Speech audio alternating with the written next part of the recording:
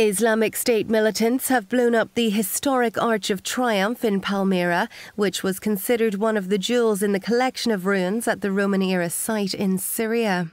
Syrian activists say the arch, which is almost 2,000 years old, has been completely destroyed, although currently no images have been released.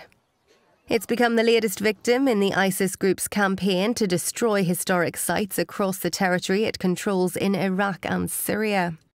The Arch of Triumph was one of the most recognisable sites in Palmyra, the central city affectionately known by Syrians as the Bride of the Desert, which IS seized in May. The destruction of the arch comes after the group destroyed two ancient temples at the central Syrian site in recent months. It blew up temples at the Roman era UNESCO World Heritage Site, which it's controlled since capturing Palmyra from Syrian government forces at the beginning of this summer, while they've mined other monuments and historic buildings. The group considers the buildings sacrilegious.